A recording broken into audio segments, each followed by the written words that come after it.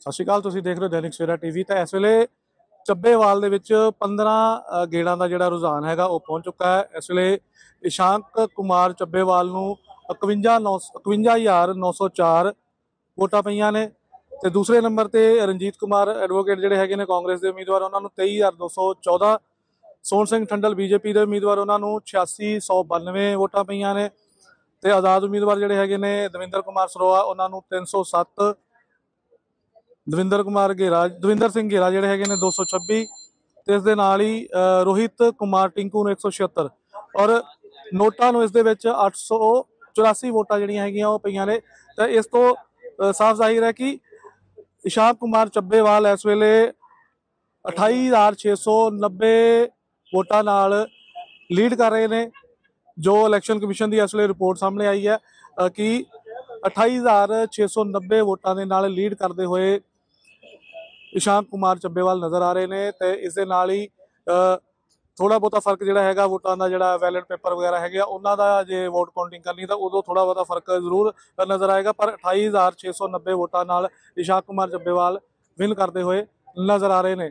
ਤੇ ਥੋੜੀ ਦੇਰ ਦੇ ਵਿੱਚ ਹੀ ਇਸ਼ਾਂਕ ਕੁਮਾਰ ਚੱਬੇਵਾਲ, ਉਹਨਾਂ ਦੇ ਪਿਤਾ ਰਾਜਕੁਮਾਰ ਚੱਬੇਵਾਲ ਕਾਊਂਟਿੰਗ ਸੈਂਟਰ ਤੋਂ ਬਾਹਰ ਆਉਣਗੇ, ਜਿਹੜਾ ਉਹਨਾਂ ਨੂੰ ਸਰਟੀਫਿਕੇਟ ਦੇਣ ਦਿੱਤਾ ਜਾਣਾ ਹੈ ਡਿਪਟੀ ਕਮਿਸ਼ਨਰ ਹੁਸ਼ਿਆਰਪੁਰ ਤੋਂ।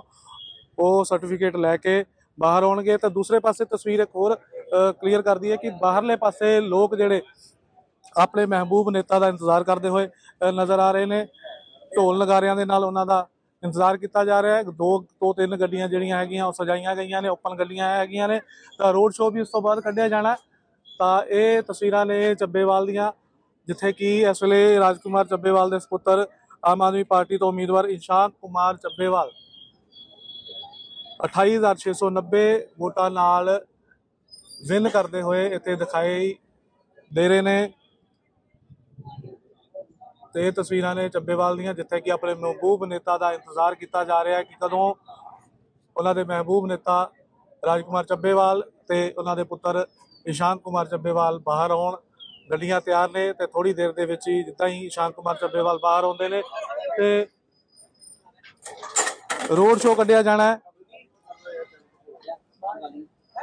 ਤਾਂ ਬਿਲਕੁਲ ਇਸ ਵੇਲੇ ਪਲ ਪਲ ਦੀ ਅਪਡੇਟ ਅਸੀਂ ਆਪਣੇ ਦਰਸ਼ਕਾਂ ਨੂੰ ਦੇ ਰਹੇ ਹਾਂ ਕਿ ਇਸ ਵੇਲੇ 51904 ਵੋਟਾਂ ਇਸ਼ਾਨ ਕੁਮਾਰ ਚੱਬੇਵਾਲ ਲੈ ਚੁੱਕੇ ਨੇ ਤੇ 2800 28690 ਵੋਟਾਂ ਨਾਲ ਲੀਡ ਕਰਦੇ ਹੋਏ ਇਸ਼ਾਨ ਕੁਮਾਰ ਚੱਬੇਵਾਲ ਨਜ਼ਰ ਆ ਰਹੇ ਨੇ। ਤਾਜ਼ਾ ਤੇ ਨਵੀਂ ਅਪਡੇਟ ਲਈ ਦੇਖਦੇ ਰਹੋ ਦੈਨਿਕ ਸਵੇਰਾ ਟੀਵੀ ਤੇ।